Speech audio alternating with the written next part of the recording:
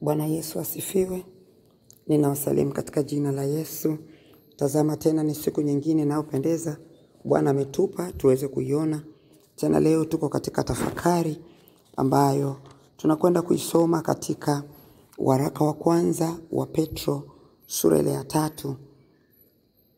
Mungu ametupenda na katika kutupenda kwake tunajua kwamba neema yake pia ametupa na inatosha katika maisha yetu, na inapotosha, pamoja na kwamba yataonekana ugumu ama hali fulani ya kimaisha katika maisha yangu, lakini kitu kimoja tunapaswa kutambua ni kwamba neema yake inatosha, na tukitambua neema yake inatosha, basi tutakapopita katika maji mengi, misukosuko, dhoruba, hatutagharikishwa. Na hata tutakapopita katika moto ambao ni, ni mateso magumu, mashutumu na kadhalika, hatutaungua wala kuteketea, kwa sababu neema yake itabaki ikitosha katika maisha yetu, na si kutosha tu, bali itatutendea na kutupa uwezo wa kuweza kusimama. Basi tunakwenda kuangalia neno la Mungu kutoka katika waraka wa kwanza wa Petro sura ile ya tatu mstari, tutaanza kuanzia ule mstari wa kumi na tatu. Biblia inasema, naye ni nani atakaye wadhuru mkiwa wenye juhudi katika mema? Ni swali Petro anauliza. Nani huyo atakayeweza kuwaudhi mkiwa wenye juhudi katika mema? Unajua, kuna kitu ambacho tujifunze na kufahamu ili tuweze kuondoka katika kuendeshwa na hisia zetu. Hisia zinaweza zikakupotosha, ee mwanadamu.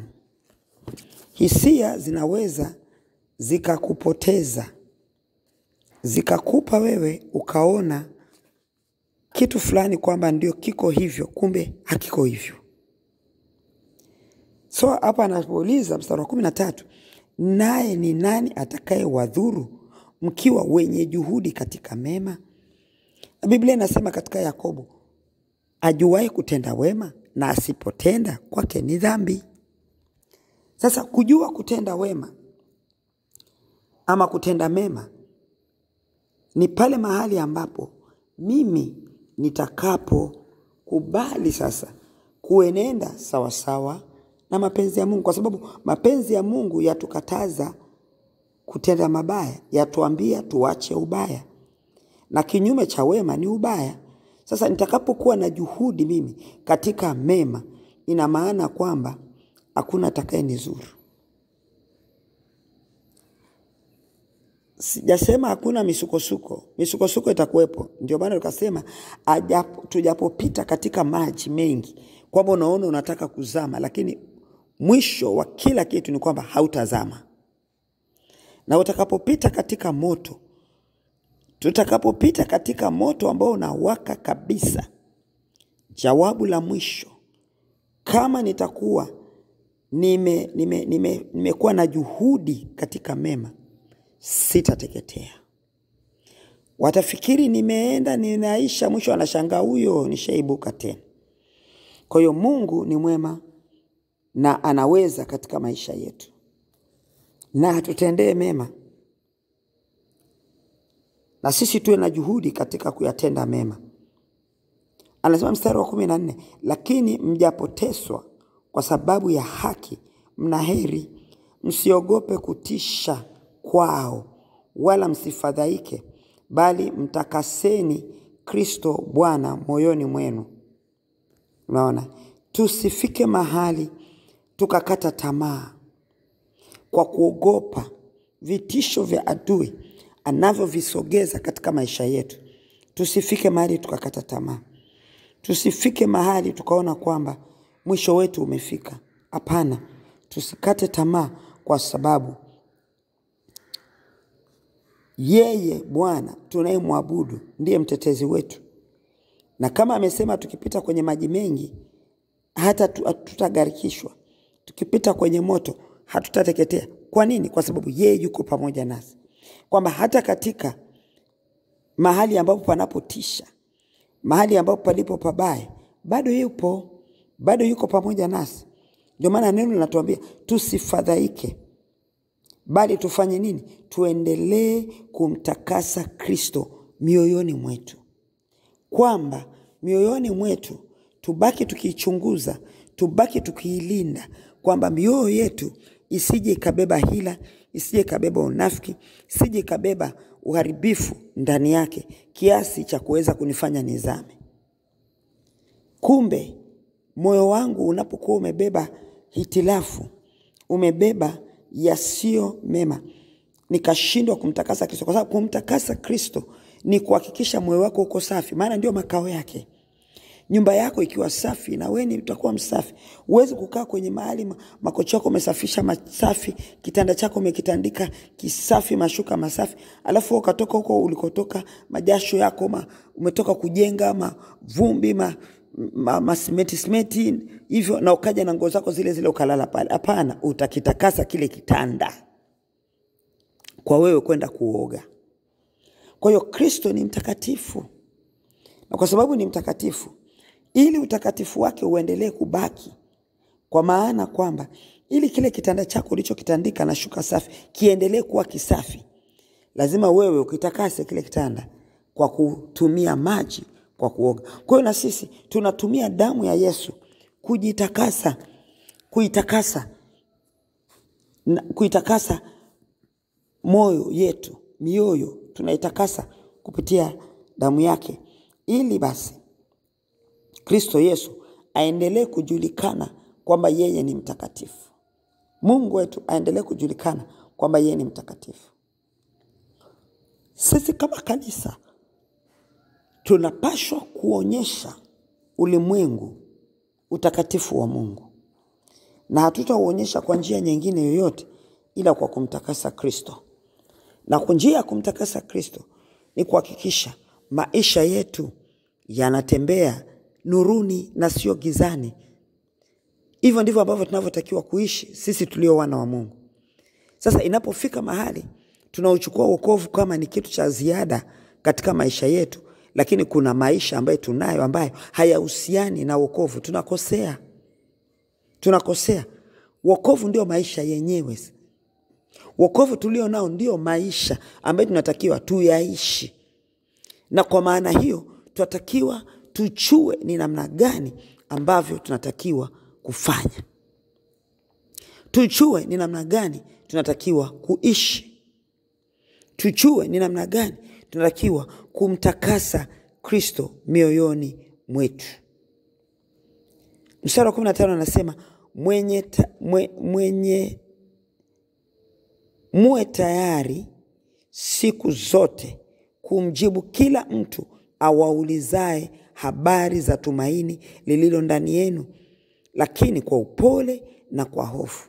Unaona, tunapomtakasa Kristo itatujengea utayari wa kutoa majibu juu ya wokovu wetu na juu ya kile tunachokiamini na yule tunayemwamini, kwamba tutaweza kutoa majibu ya imani yetu katika Kristo na tutaweza kutoa majibu ya Kristo, kwamba Kristo ni nani katika maisha yetu, tena kwa upole na kwa unyenyekevu na si kwa mabishano, kwamba tusiingie katika mabishano, bali tuishi katika hofu na kutetema mbele zake Bwana, ili katika hiyo kuweza kuwafundisha watu ule uzuri, wema na kutangaza habari za Kristo, kwa sababu tutaweza kutoa majibu yale yanayostahili kwake yeye aulizaye. Hatutaingia kwenye mjadala. Mimi naona watu wanaingia kwenye mjadala, hiyo sio sahihi. Hatujatumwa kufanya hivyo. Tulitumwa kuhubiri Injili na kutangaza habari za Yesu. Sasa kutangaza habari za Yesu sio mjadala. Yaani nikisema mjadala, kuna mjadala, kuna majadiliano ambayo mnaweza mkakaa mkawa mnajadiliana habari za Kristo, mkaweka mada mezani, alafu kisha mkaanza kuchambua ile mada kwa kumtangaza Kristo. inakuwa sehemu ya mafundisho ni tofauti. Kwa mfano, unakuta kwamba hawa wanasema wako kwenye dini ya bluu na hawa wako kwenye dini ya njano. Wanakaa sasa kwanza kuweka mjadala kwa ajili ya kumjadili Kristo kama kweli Kristo ni Kristo. Hapana, tunatakiwa tujibu maswali ya wale ambao hawaamini kwamba Kristo ni Bwana. Kwa hiyo katika namna hiyo tunaweza tukawa tukawa tunamtangaza Kristo. Kwa hiyo iko iko mijadala ambayo maswali watu wanauliza maswali. Kwa mfano dini ya bluu, huyu anasema sisi dini yetu ni blue, imani yetu ni blue, na huyu anasema imani yetu ni yellow. Kwa hiyo wanakaa pamoja, mjadala, andiko linawekwa mezani, alafu wanaanza, kila mmoja anathibitisha kwamba Yesu ni nani. Huyu mwingine akiwa anathibitisha Yesu si Mungu, huyu mwingine anathibitisha Yesu ni Mungu. Ni sawa kabisa katika kumthibitisha Mungu, kumthibitisha Kristo katika hilo, ila hayo yote yafanyike katika upole na katika hofu, sio katika ubabe. Kwa hiyo tutaweza kufanya hivyo, tutaweza kumjibu mtu yeyote mwenye maswali wakati sisi tumemtakasa Kristo. Unapomtakasa Kristo utaeleza katika kile ambacho umekiona kikitendeka katika maisha yako. Kwa hiyo huo ni mjadala mzuri kwa ajili ya Kristo Yesu, kwa sababu una uthibitisho ya kile ambacho amefanya kwako. Kwa hiyo ndicho utakachokuwa unaeleza. Kwa hiyo utakuwa na ule utayari, utayari ambao unatokana na wewe ku, ku, kuishi na Kristo, kuishi uokovu wako, kwamba umechukua uokovu kuwa sehemu ya maisha yako. Kwa hiyo unamjua Kristo kupitia ule uokovu ambao umeuishi, kwamba umemthibitisha Kristo kupitia ule uokovu ambao umeuishi. Kwa hiyo utaweza kutangaza, utaweza kueleza, utaweza kumsaidia mtu, utaweza kujibu maswali yoyote yatakayokuwa yanakuja, kwa sababu Roho Mtakatifu ndio atakayejibu ndani yako na atajibu sahihi akithibitisha kile ambacho kimefanyika ndani yako ambacho Kristo Yesu Bwana amekifanya. Anasema mstari wa kumi na sita, nanyi muwe na dhamiri njema, ili katika neno lilo lile mnalosingiziwa watahayarishwe wale wautukanao mwenendo wenu mwema katika Kristo. Ona, dhamiri zetu ziwe njema.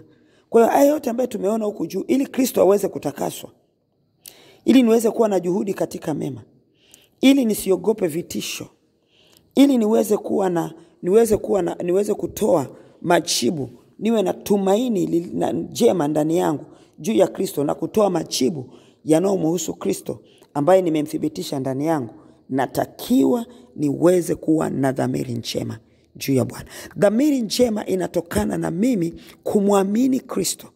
Sasa nikisema kumwamini Kristo haina maana kumwamini ndio upokee wokovu. Hapana, wewe ulishamwamini na umepokea wokovu, lakini katika kumwamini huko umemwamini tu kwamba kwa kinywa chako kwamba Bwana umefanyike kuwa Bwana na mwokozi wa maisha yangu, lakini je, unamwamini katika maisha yako kweli, kwamba maisha yako yasiingie kwenye kutetereka, maisha yako yasiguswe na kila uharibifu ambao shetani anaulenga, upite kwenye uharibifu huo, upite kwenye maisha yako na kuteleza.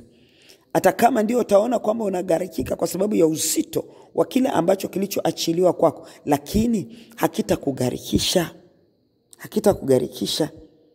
Kwa sababu ndani yako dhamira yako ni njema katika neno ambalo linalosingiziwa kwako, kwamba mtu yeyote atakaye kusema atakayesema wewe umefanya hivi, mashutumu ni mengi.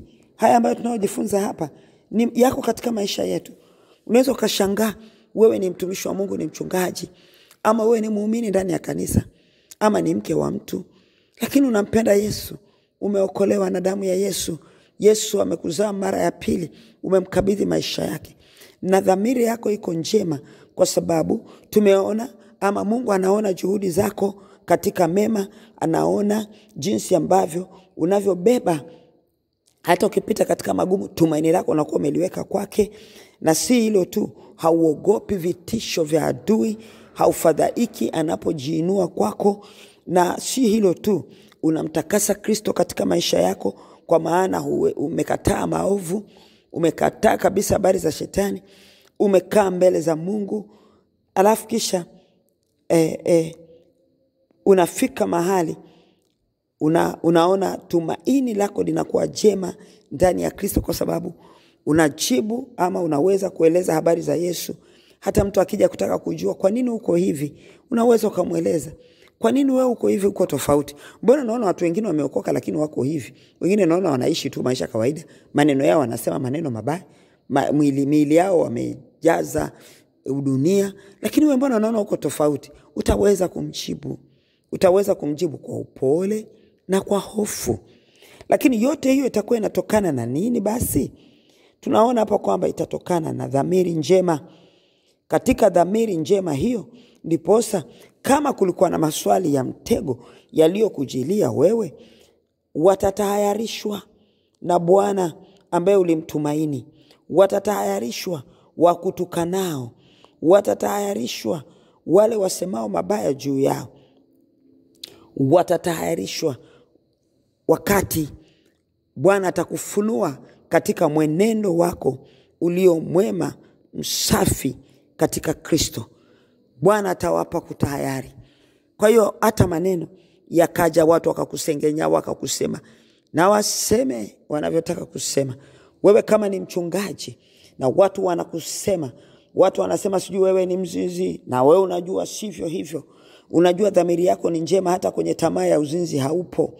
Haya, waseme wewe ni mwizi, wewe unajua dhamiri yako ni njema, hata nafsi yako kwenye kutamani haipo. Umeridhika na kutosheka na kile ambacho Bwana anachokitenda. Hata wakusingizie katika lipi, wacha watatayari wao wanaokutukana wewe, kwa sababu mwenendo wako umwema katika Kristo Yesu. Ndio neno linatuambia kwamba katika ulimwengu wa roho njia yako ni safi mbele za Bwana. Katika ulimwengu wa roho, shetani hana mahali pa kukamata kupitia maneno hayo ambayo yanasingiziwa juu yako. Anakosa mahali pa kukamata juu ya yale ambayo unadharauliwa kwayo. Kwa hiyo nataka nikutie moyo wewe mwana wa Mungu, nataka nikutie moyo wewe mtakatifu wa Mungu, nataka nikutie moyo hasa wewe uliye mchungaji, wewe uliye mtumishi wa Mungu, wewe unayefanya kazi ya Mungu, mtenda kazi shambani mwa Bwana. Sisi ndio tunaosingiziwa sana. Unaweza ukasingiziwa, ah, unamwona yule anatembea na fulani, anafanya uzinzi na fulani. Hayo yapo, lakini nataka nikutie moyo kwamba wewe endelea kuisugua dhamiri yako mbele za Bwana. Dhamiri yako hakikisha inakaa safi mbele za Bwana. Usitetereke ukafika mahali ukasema, sasa wananisingizia, basi na mimi nitafanya kweli. Ah, ah, achana na hiyo. Dhamiri yako iwe njema mbele za Bwana kwa kuendelea kuwa na juhudi katika kuyatenda yale mema ambayo Bwana ameyaweka mbele yako, kwa kuhakikisha unamtakasa Kristo Bwana moyoni mwako, kwamba moyo wako ukisomwa, kibao cha moyo wako ukisomwa na pepo awai yoyote na shetani awai yoyote na mwovu awai yoyote, Kristo Yesu asomeke katika kibao cha moyo wako wakati wowote uwe tayari, unakuwa na utayari kujibu. Kwa mfano, wamekusingizia wewe labda ni mzinzi, umechukua mume wa mtu ama umechukua mke wa mtu, wewe ni mzinzi, umefanya hivi. Hakikisha kabisa kwamba dhamira yako inasomeka vyema, na wakati huo wanapokusingizia wewe unageuza kichwa chako juu. Si mnamkumbuka Stefano? Stefano alishutumiwa akapigwa mawe, pigwa mawe kwa ajili ya Kristo lakini yeye aliendelea katika juhudi zake kwenye kutenda mema, kwa sababu aliendelea kumwambia Baba, watu hawa hawajui wanachofanya, wasamee bure. Yeye aliendelea kusonga mbele, hakuogopa vitisho vyao na hakufadhaika. Hata walipo, alipokuwa katika hali ya kufa, aliendelea kumwambia Bwana, wasamee watu hao. Aliendelea kutakasa jina la Kristo Bwana wake moyoni mwake kwa kutamka yaliyo mema kwa ajili ya wale waliokuwa wamemfanyia vibaya. Akageuza macho yake juu, na Bwana akamwonyesha mbingu ilivyofunguka kwa ajili yake. Bwana aturehemu na atuwezeshe kusimama, tuweze kufika katika hatua hiyo. Usikate tamaa, wewe mjoli wa Bwana ambaye unafika mahali hata ule kueleza tumaini la Kristo ambalo liko ndani yako kulieleza katika upole na hofu linakuwa gumu. Unaanza kukaripisha watu, unaanza kupiga kelele na kuongea kwa hasira, kwa sababu ndani yako uchungu umejaa, kwa sababu ya maneno mabaya ambayo yamesemwa kwako. Ondoa hiyo, weka tumaini lililo jema ndani yako, upole na uhofu ikae ndani yako, hofu na kutetemeka ikae ndani yako. Hicho ni kitu natakiwa kulinda sana katika moyo wako. Maneno ya watu yasikuyumbishe, mashutumu ya watu yasikuyumbishe, uongo wa watu dhidi ya wewe yasikuyumbishe, bali hakikisha kwamba dhamira yako inakaa kuwa njema katika wale wanaokusingizia watafika mahali waweze kutayarishwa. Bwana atawatayarisha, atawatayarisha, atawatayarisha wale wanaokutukana, wanaotukana mwenendo wako mwema katika Kristo, waliokuita wewe ni mchinga, waliokusema wewe umezubaa, waliosema wewe ufai. Bwana atawatahayarisha. Bwana atawatahayarisha. Maana ni afadhali, mstari wa kumi na saba, ni afadhali kuteswa kwa kutenda mema, ikiwa ndiyo mapenzi ya Mungu, kuliko kwa kutenda mabaya. Kwa maana Kristo naye aliteswa mara moja kwa ajili ya dhambi, mwenye haki kwa ajili yao wasio haki, ili atulete kwa Mungu. Mwili wake akauwa akauawa, bali roho yake akahuishwa, ambayo kwa hiyo aliwaendea roho waliokuwa kifungoni, akawahubiri wakati akawahubiri watu wasiotii hapo zamani, uvumilivu wa Mungu ulipokuwa ukimgoja siku za Nuhu, safina ilipokuwa ikitengenezwa, ambamo ndani yake wachache, yani watu wanne waliookoka maj, kwa maji. Habari hii inanifundisha kitu cha ajabu sana. Nitakapoyaona mateso yamenisogelea katika maisha yangu kwa ajili ya Kristo, mashutumu yamenisogelea kwa sababu ya Kristo, nachotakiwa kuchunga nisitende dhambi katika hilo. Mateso hayana budi kuja, hayana budi kuwepo, kwa sababu ni sehemu ya maisha yetu. Ikiwa ndivyo mapenzi yake Mungu amekusudia nipite hapo, sina pa kukimbilia na sina pa kukwepa, kwa sababu hata yeye Kristo aliteswa kwa ajili ya dhambi zetu, ili aweze kukusanya watu wake. Mateso yanaweza yakatokea na ukajikuta kwamba umekosa nguvu na umekosa tumaini. Ninakumbuka wakati fulani nikiwa katika mji fulani, sitautaja, nikiwa nafanya kazi ya Mungu katika mji ule, nilikuwa napita katika mapito magumu magumu, hata nashindwa kuyaelezea, magumu magumu.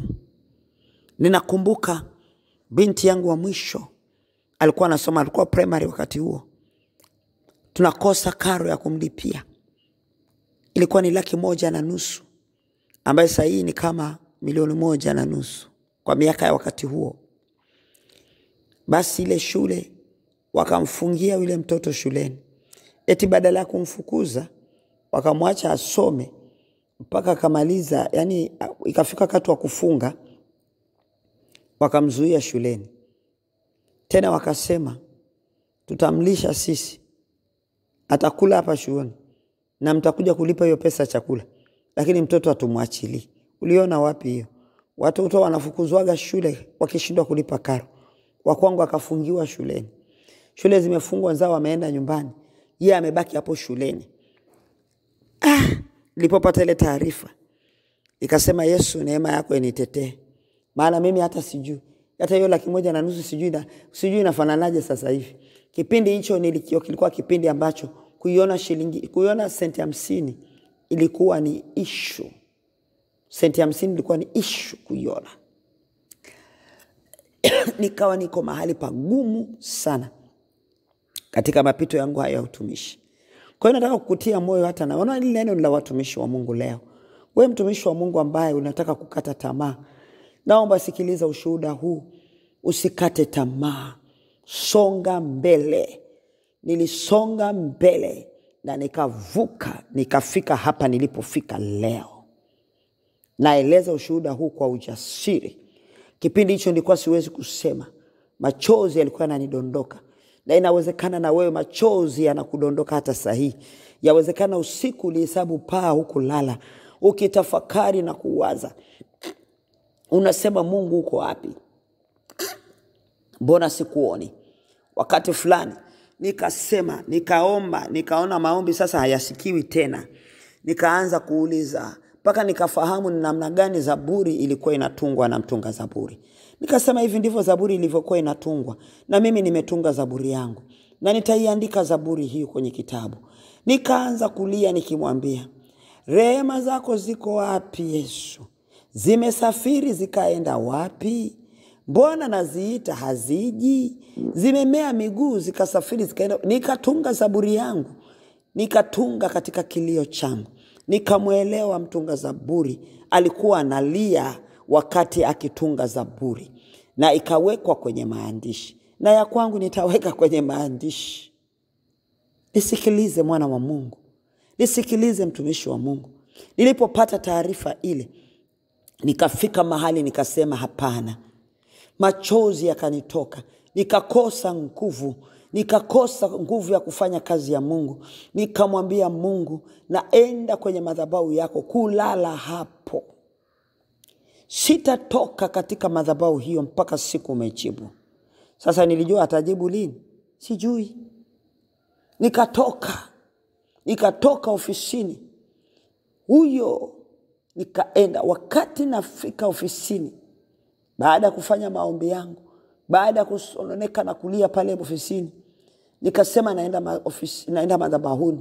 Nikafungua hema nikaingia. Wakati nafungua hema mlangoni pale, nikaona gari hiyo imekuja imepaki, ya mmoja alikuwa ni mmoja wa waumini katika hema hiyo, wakati kwa natumika wakati huo katika mahali hapo. Yule moyoni sasa nikasema ah, nilivyomwona ikawa kama vile ameendelea kunishusha moyo, kwa sababu nilikuwa nasema naenda madhabauni nikapate nguvu mpya. Nikasema huyu sasa amekuja tena, atachukua muda wangu, na hata hivyo kama amekuja na matatizo, mimi nawezaje kumwombea? Ah, nikasimama pale mlangoni nikasubiri, akatoka kwenye gari akaja, funguo zangu za mlango wa hema nimeshika mkononi. Ilikuwa ni asubuhi, nikamwambia karibu karibu. Akasema Mungu akubariki. Tukasalimiana. Haya, karibu. Nikasema nilikuwa nataka kuingia hemani, lakini twende ofisini nikakusikiliza Akanambia mimi nilikuwa nyumbani asubuhi hii, nikasikia Roho Mungu ananiambia nije hemani, na sijui kwa nini alimeniambia nije hemani. Ah, nikaambia sasa sijui. Sasa hiyo tumesimama, nikamwambia twende ofisini nikakusikiliza yamkini ana sababu. Basi nikawa nah, nimevunjika moyo, kwa sababu shida yangu nilikuwa nikalala madhabahuni, nikalale nikajitupe hapo, nikajimwage hapo, nikapiga kelele zangu mbele zake.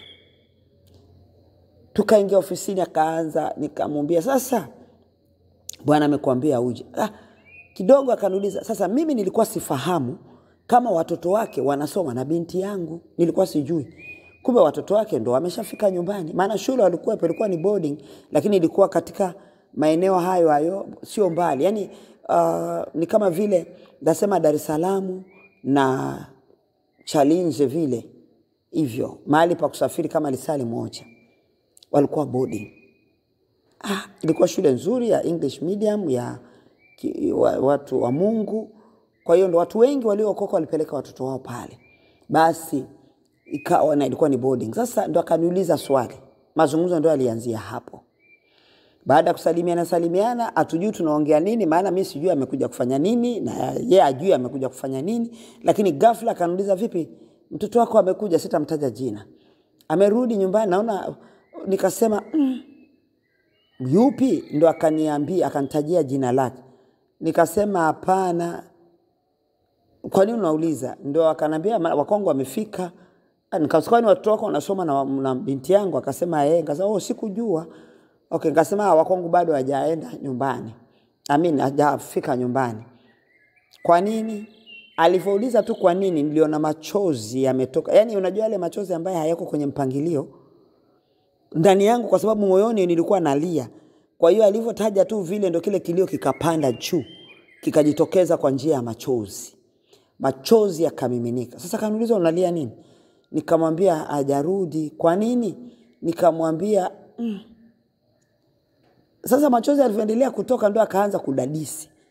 Nikamwambia bwana, mimi nadaiwa shuleni, kwa hiyo hawakumfukuza mtoto. Mtoto alisoma nikijua kwamba ah, kesho nitapata, kesho nitapata, lakini mpaka leo sikuona ah, kitu, na wamemzuia mtoto shuleni mpaka nilipe hela. Wamesema watamlisha, nilipe na pesa ya chakula. Ah, na mimi sijui naitoa wapi. Akanambia ni shilingi ngapi? Nikamtajia laki moja na nusu. Akaniambia funga ofisi nifuate. Akatoka ami, nikafunga ofisi nikamfuata. Badala ya kuingia hemani, nikaingia kwenye gari. Hao asemi na mimi kwenye gari. Sasa tuongea tu mambo mengine, napelekwa wapi sijui, mi nimetia amri tukaenda papo. Akasimama mlangoni kwa benki mlango wa benki alipofungua, akaenda zake ndani, mimi akaniacha kwenye gari, akaniambia narudi sasa hivi. Kwa mimi nikajua mtu ameenda kwenye shughuli zake, anakuja, tuendelee na safari. Tunaenda wapi sijui na bwana alinifunga kinywa, wala sikumuuliza unanipeleka wapi. Ni ajabu sana, sikumuuliza. Akaingia ndani, akatoka na bahasha.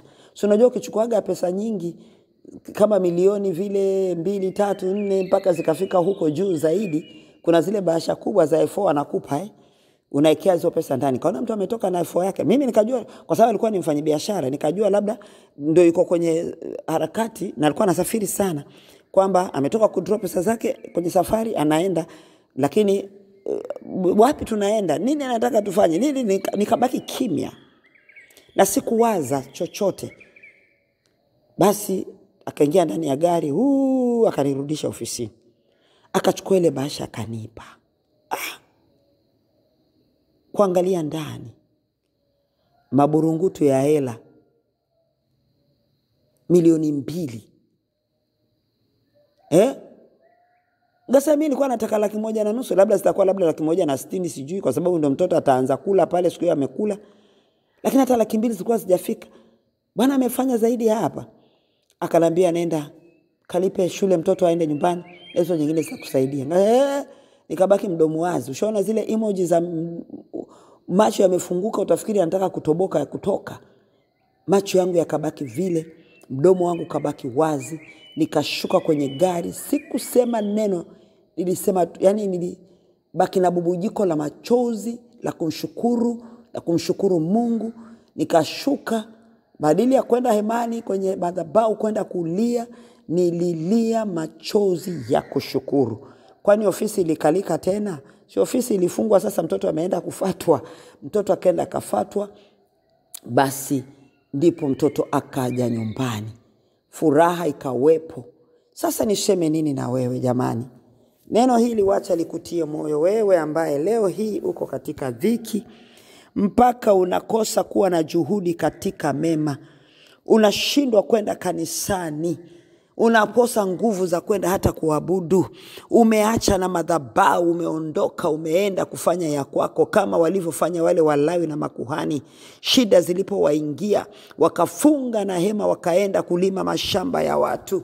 Oh, mpaka Hezekia akaja akawa mfalme akasema, no, no, no, no, no, no, no. Hema ya Bwana lazima ifunguliwe kwanza, si sahihi alafu akawaenda kwa kuwakamata wale, akapiga Yesi mfalme. Sasa kawaita, wakarudi, akawaambia sikilizeni, jitakaseni, muingie kwenye hema ya Bwana, muitakase nyumba ya Mungu. Wakajitakasa kwa amri ya mfalme Hezekia, wakaingia katika hema ya Bwana, wakaitakasa na hema ya Bwana, ndiposa wakatoa sasa wakatoa watu, watu wana wa Israeli wakaja na kutoa sadaka, ibada katika nyumba ya Mungu ikarejea. Sasa niseme na mafungu yote katika nyumba ya Mungu, wewe uliye mtumishi wa Mungu, Mungu akusaidie, ambaye umegeukia mambo yasiyofaa wako wengine baada ya kuona dhiki na shida zimewazidi, wameanza kutumia utapeli hata katika madhabahu kwa ajili ya kujikusanyia fedha. Acha hilo, Bwana anaweza kufanya. Alifanya kwangu, atafanya na kwako. Wewe ambaye umeacha madhabahu ya Mungu, ukaacha kumtumikia Mungu, ukaacha kufanya kazi ya Mungu, ukakimbia ukaenda kujitokomeza kwenye kazi zako, sikiliza, sijasema usifanye kazi. Unafanya kazi na huku unamtumikia Mungu, lakini kama umefika mahali na ukaamua kwamba Mungu, hapana, we ufai, we uto, we kwanza ndo umeniletea shida zote hizi, ukapoteza juhudi zako, ukaacha juhudi zako kwa ajili ya Bwana, zile ambazo ulikuwa nazo, ukaacha kuomba, ukaacha kuimba, we ulikuwa unaimba sifa, ukaacha ukakimbia, ukaacha kutumika katika madhabahu, ukaacha kuhubiri, ukanyong'onyea, ukaacha uka, ukaenda kufanya kashikiliza. Walikuwepo Walawi wakati huo, walikuwepo makuhani wakati huo, walifunga hema ya Mungu, wakaenda Israeli, wakageukia miungu mingine. Israeli wakatafuta miungu, wakakaa nayo ndani ya nyumba, wakaabudu miungu ndani ya nyumba, kwa sababu Walawi wenye ku, ku, watumishi wa madhabahu na, na wale makuhani waliowekwa na Bwana kwa ajili ya kusimama patakatifu pa Bwana wakaacha, wakaenda zao na hema ikafungwa. Lakini shikiliza, Hezekia alitumika na Mungu akawarudisha, na kanisa la Bwana likarudi, kwa maana taifa la Israeli likarudi mahali pake. Wakatupa miungu yao, wakatokomeza miungu yao, kwa sababu Walawi na makuhani walisimama, na ndiposa wakarudi katika hema ya Bwana. Na kile ambacho walienda kukitafuta kule nje, kumbe walikiacha kwenye madhabahu. Maana Israeli walianza kutoa, walianza kutoa sadaka zao. Inawezekana madhabahu imekauka, sadaka hazitoki katika madhabahu, na wewe ukaanza kunung'unika. Sikiliza, sio wingi wa watu ndio unaotoa fedha, sio wingi wa watu ndio unaotoa neema katika madhabahu. Ni kujitoa kwa watu, ni katika ile juhudi watu walionayo katika mema, ni katika kujitoa katika Bwana, ni katika kumpenda Bwana. Wewe utakaposimama kwa ajili ya Bwana, Bwana ataachilia kutoka mbinguni. Mnaweza mkawa hata watu kumi na Bwana akawaneemesha katika watu kumi hao hao, na kila mmoja akapokea neema yake kutoka kwa Bwana. Kwa hiyo sikiliza neno la Bwana hili ambalo Bwana ametupa leo katika waraka wa kwanza wa Petro sura ya tatu kuanzia mstari ule wa kumi na tatu mpaka ule mstari ambao tumekwenda nao mpaka mstari ule wa ishirini wa, wa, wa kumi na wa ishirini. Sikiliza nikueleze, acha kukimbia kutenda mema. Kaa katika kazi ya Mungu na ufanye kazi ya Mungu. Na kama unafanya kazi yako, umeajiriwa ama unafanya biashara, isichukue nafasi ya Mungu. Gawanya majukumu yako hayo na ukatende mema kwa ajili ya Bwana, kwa sababu ni dhambi unapoacha kufanya hiyo. Na pia usije ukaacha kutenda mema pia kwa watu, ni dhambi kwa kufanya hivyo. Hakikisha juhudi zako katika kutenda mema zinaongezeka, hata kama hali ni mbaya. Tena wakati huo ndio hali izidi. Mimi nilikuwa na, ne, ne, nimekosa na mtoto mpaka amefungiwa shuleni, lakini nilikimbilia madhabahuni, sikukimbilia barabarani. Ukikimbilia barabarani kule utajifunza kutoka kwa watu wa barabarani, na kila mmoja ana ya kwake na ana mahali alijifunza. Utaingia katika uharibifu, maana utamwona mwingine amefanikiwa na utatamani kufanikiwa kama yeye, kumbe ana misukule ndani ya nyumba yake amewafuga. Utaona mwingine amefanikiwa na ukatamani kufanikiwa kama yeye, kumbe alishatoa watu kafara. Utaona mwingine amefanikiwa na ukataka kufanikiwa kama yeye, kumbe anatoa sadaka zake kwa mizimu, na wewe ukawa umekimbilia huko, ukaacha kutoa sadaka zako katika madhabahu ya Mungu. Sikiliza nikueleze, neema ya Mungu ikutoshe siku ya leo katika neno hili ambalo Bwana anatufundisha asubuhi ya leo. Usiogope matisho hayo, usiogope vitisho vya shetani katika kukughadhabisha, usiogope vitisho vya shetani katika kukuhangaisha, usiogope vitisho vya shetani katika dhiki unayopitia. Hivyo ni vitisho tu. Mimi aliniletea vitisho tena mbaya zaidi, hakumfukuza mtoto wangu, akasema sasa nakukomesha, mtoto atabaki shuleni na, na bili yako inaendelea kuongezeka. Lakini nataka kukuambia Bwana alijitokeza kwa wakati ambao sikujua, na hata wakati huo alipojitokeza, alijitokeza zaidi ya kile ambacho kilichokuwa kinahitajika. Bwana anaweza kufanya Bwana anaweza kufanya, Bwana anaweza kufanya kwako. Nasikiliza nikueleze, endelea kuwa na dhamiri njema mbele za Bwana ukimtumaini Bwana ndani yako. Hakikisha tumaini lake Bwana haliondoke ndani yako, hata watakapokutesa, hata utakapoteseka, hata utakapoingia katika E, e, e, mashutumu ma, ma, ma, mashutumu, wale watu watatahayarika, maana siku watakapomwona Bwana amegeukia upande wako na akatenda. Ninakwambia kile ambacho kilifanyika wakati huo kilikuwa ni cha ajabu. Kumbe Bwana alijibu, alipiga ndege wawili kwa jiwe moja, na mimi sikuchua. Kumbe binti yangu alikuwa ndo anaingia kwenye safari, amepata, amepata e, e, nafasi ya kusafiri kwenda nje kwa ajili ya kwenda kupata job training ya kishule, na ilikuwa ndio mwanzo wa nuru yake ambaye Bwana alisema na mimi wakati anaingia form 1. Huyo ni mwingine sasa tena, kwamba Mungu alipiga jiwe la ndege, jiwe moja, lakini akaua ndege wawili, watoto wawili wakatembea katika muujiza huo mmoja. Nataka kukwambia kwamba usikate tamaa. Ondoka katika vipimo vya kupimiwa kama, kama, kama, kama, kama kijiko cha mafuta dukani. Ondoka hapo, ingia katika mtiririko unaotiririka kutoka katika bomba la mbinguni, kwamba Mungu anao uwezo. Mimi nimemthibitisha Mungu katika hilo. Wakati binti yangu ambaye amekwama kabisa kwenda shule form 1, na nikafika mahali nikasema, hii ni mambo gani hii? Nikakimbia hivi na hivi na hivi na hivi na hivi. Siku ambapo alipopata shule ile ambayo Bwana alitaka kwenda, alikuwa amefaulu, lakini shule ambayo anatakiwa kwenda na kila kitu kiko mara mbili nimempeleka katika shule hiyo, amerudishwa. Mara ya kwanza wakaniambia, wewe unafikiri shule ni ya private ndio unamleta mtoto saa unaotaka, tunafunga saa kumi. Ah, sasa mimi nimetoka mbali jamani, nimechelewa, nikaondoka. Nikarudi tena mara ya pili, tukaharibikiwa na gari njiani, tukapata pancha, kukawa na mvua, njia ni ya utelezi, hatuwezi kwenda. Tukafika tena saa moja usiku, nikakutana na mambo yale yale, nikasema ujinga gani huu, nitampeleka mtoto private.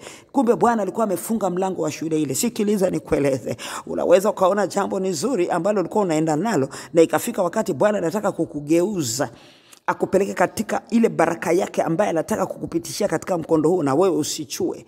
Lakafu katika hali hiyo ukajikuta kwamba unang'ang'ana na kushindana na Bwana. Niling'ang'ana mara ya kwanza, nikang'ang'ana mara ya pili, ya tatu nikasema sirudi hapo, nikasema nageuza kibao, nikapeleka mtoto wangu private. Amefaulu, lakini nikapeleka private. Nikasema ujinga mi siwezi kufanya. Ni nini hii sasa? Nikapeleka private na alipoingia katika shule ile ambaye ndio Bwana alimkusudia. Saa hii alipotoka, nilipotoka kumwingiza katika ile shule, Bwana alisema akanambia, nimefungua milango ya maisha yake kupitia shule hii. Kumbe baraka zake zilikuwa hapo, na mimi nang'ang'ana kumpeleka kule kwengine. Ni kweli ilikuwa ni haki yake kwenda kule kwengine, maanake alifaulu katika kibinadamu, ilikuwa ni haki yake. Kwa hiyo unaweza ukajikuta wakati mwingine unaipoteza haki yako ya kidunia ya kibinadamu, nafikisha kisha ukaona kama vile dunia imeisha. Haijaisha bado, kwa sababu neema ya Mungu bado ikaliko. Mkondo wa Mungu ni wa tofauti, njia za Mungu ni za tofauti, lakini wewe endelea kuhakikisha kwamba dhamira yako iko njema mbele zake. Na mimi nikafika mahali hapo nikasema sasa hii ni, ni, ni, ni, nilivyokaa nyumbani nikasema mlango unafunguliwa kwa namna gani? Mpaka anafika mpaka anafika katika ile anafika form 4, huyo ni mwingine anafika darasa huyo huko juu, ndipo ikafika mahali sasa nina, nina, nina, nina mtoto anapata sasa nafasi ya kwenda nchi za nje, nitahifadhi na nchi hiyo pia. Ah, natakiwa nauli. Sasa nauli si ndio itokewa wapi? Si katika ile milioni mbili ndio pewa. Mimi ningetoa wapi nauli? Kwa hiyo Mungu alipiga ndege wawili kwa jiwe moja. Kwa hiyo nauli ikatoka pale na mtoto akaenda na mlango wake ukafungukiwa hapo. Alivyomaliza job training akaingia university kule kule, akaingia na maisha yakaendelea.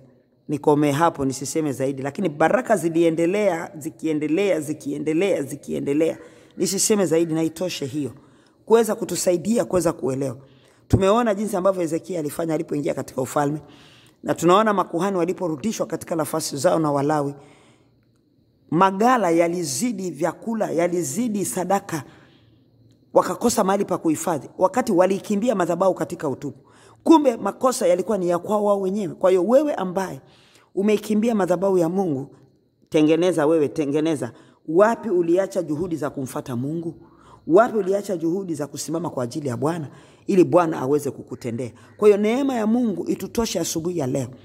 Ni kuache na neno hilo ya kwamba usiache kutenda mema, juhudi zako zisimame katika kumkimbilia Bwana.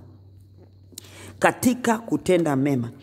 Kwa nini iwe kwamba wakati unapopata dhiki, mahali pa kwanza kupakimbia kwamba utaki tena ni kumkimbia Mungu, unakimbia utaki tena kwenda kanisani. Ukiulizwa unasema ah, nilikuwa na hivi ndio maana sikuja kanisani. Mbona kazini huachi kwenda? Mbona nje ya nyumba yako huachi kutoka?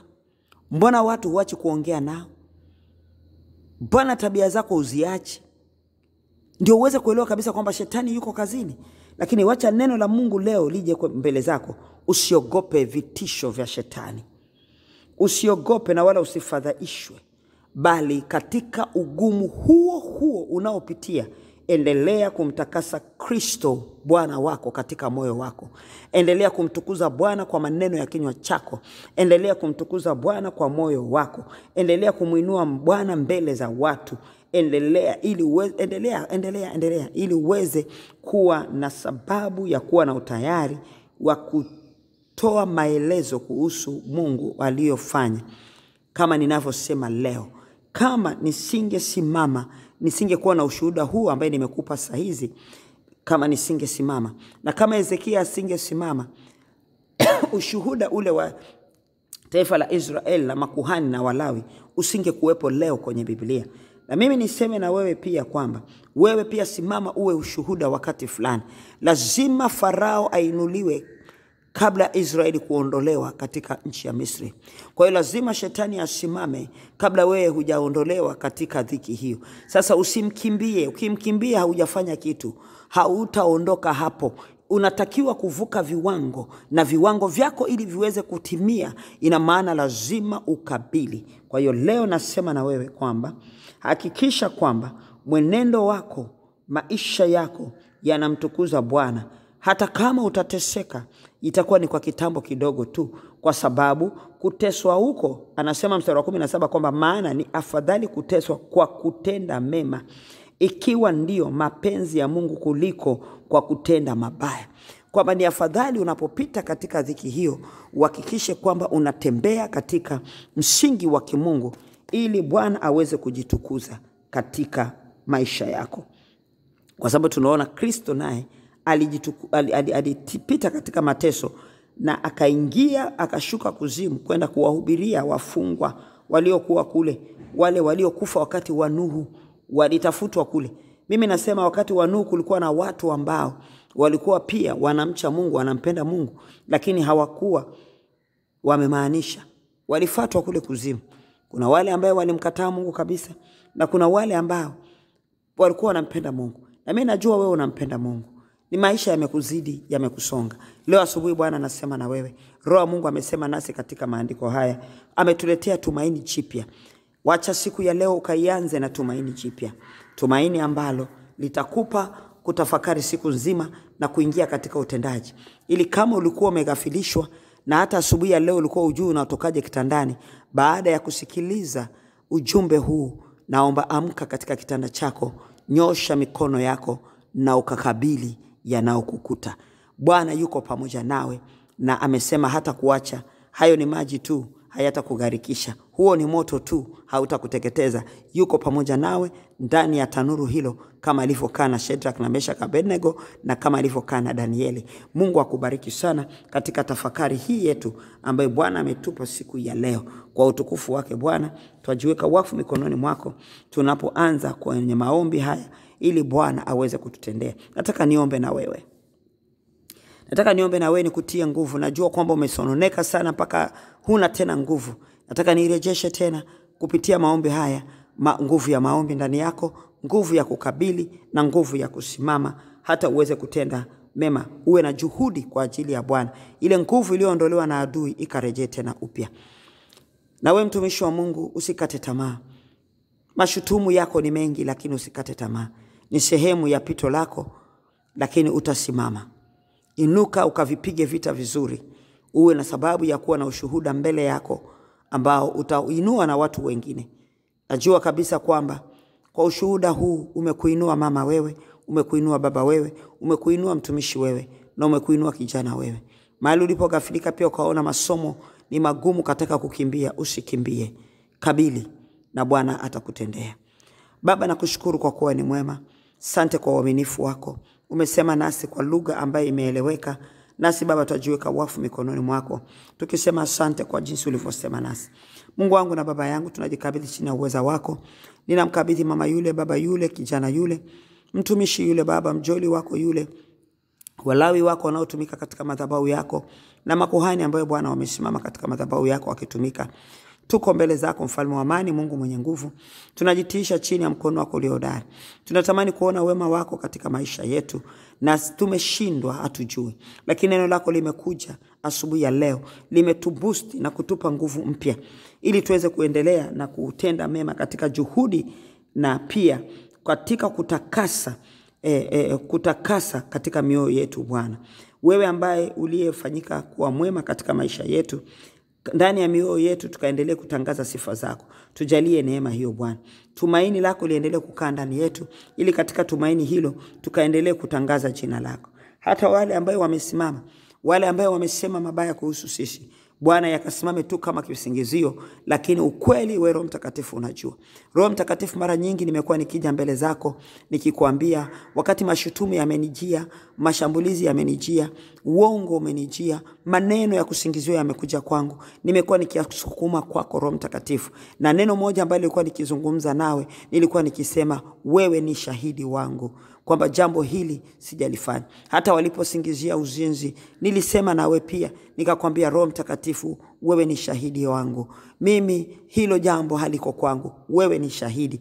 Na nilipokuwa nasema vile, ni kwa sababu nilikuwa na uhakika kwamba ulikuwa pamoja nami wakati hayo yakisemwa na hata pamoja sasa uko pamoja nami. Kwa hiyo nikajua sihitaji kwenda kwa mwanadamu awai yoyote kwenda kutaka kujithibitisha mwenyewe ama kwamba kumwambia kwamba hivi sijafanya, kumkania. Hapana, niliona kwamba haitanisaidia kwa sababu wewe ndio mtetezi wangu. Kwa hiyo niliyakabidhi kwako na nilikuona ukinitetea. Na leo hii Baba, yuko baba yule, yuko mama yule, yuko kijana yule ambaye ameshaghafilika kwa sababu ya aina ya maisha na ugumu. Ameacha yale ambayo yanayokupendeza wewe, ameacha na kurudi dhambini, akasema wai, ngoja nikae pembeni kwanza niyafanye haya, nikimaliza nitarudi, bila kujua kwamba shingoni mwake shetani ameshaweka upanga na kisu tayari kwa ajili ya kumchinja na kuangamia. Leo hii Bwana, naomba ukafungue ufahamu wa baba yule, fungua ufahamu wa kijana yule, fungua ufahamu wa mama yule, fungua ufahamu wa, wa mtoto yule, fungua ufahamu wa mtumishi yule, fungua ufahamu ya mtendakazi yule, fungua ufahamu wa, wa nabii yule, mtume yule, mwinjilisti yule, mwalimu yule na mchungaji yule, ambaye Bwana amegafilika katika hali hiyo na akafikiri kwamba yuko sawa bila kuchua kwamba tayari kisu kiko katika shingo yake. Shetani amedhamiria kumchinja na kummaliza, sawasawa na neno lako unalosema katika Yohana sura ya kumi kumi ya kwamba mwivi haji ila aibe, achinje, auwe, aharibu. Na sasa mwivi alikuja na masingizio, na mimi nikakimbia, ama mwama yule akakimbia akaikimbia na kazi yako. Wako watumishi wako ambao walishaacha na kazi yako kwa sababu mashutumu yalizidi, lakini kitu walishindwa kujua, hawakujua kwamba msingi wa kina cha utumishi wao ulikuwa unaenda chini sana, maana huko ndiko mashutumu yanakotokeaga. Lakini Bwana, naomba siku ya leo, wacha ikawe mpya kwa mtu huyu. Naomba Roho Mtakatifu malaika mkawaelekeze watu hao katika klipu hii, wakajifunze katika hapa, wakajifunze na ukawatie moyo, ukawaimarishe na ukawawishe tena kwa upya, katika jina la Yesu Kristo wa Nazareth.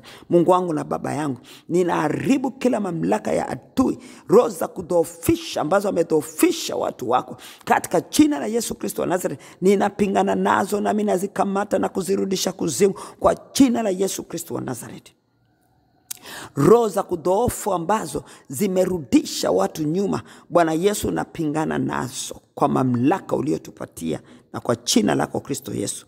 Wacha neema yako ionekane kwa utukufu wako katika jina la Yesu Kristo wa Nazareti. Asante Mungu wangu, asante Baba yangu, Mungu usiyeshindwa na jambo lolote. Wacha heshima na adhamu zikurudie wewe, na kwa utukufu wako Bwana, neema yako itoshe katika jina la Yesu Kristo.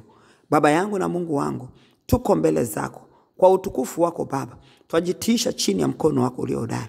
Tunyanyue tena kutoka chini mahali tumegandamizwa na dhiki, tabu zinazotutesa mahali tulikata tamaa tukakosa hata nguvu ya kuomba, tuinue tena kwa upya Bwana, tusimamishe mfalme, katika jina la Yesu Kristo wa Nazareti. Mungu wangu na baba yangu, namweka mama huyu chini ya mkono wako uliodari, ambaye ndani yake amekata tamaa kwa sababu ya ndoa yake. Bwana Yesu, naomba ukamsimamishe. Ameacha hata na utumishi kwa sababu ya ndoa yake. Naomba Bwana ukaijenge kwa upya ndoa hiyo.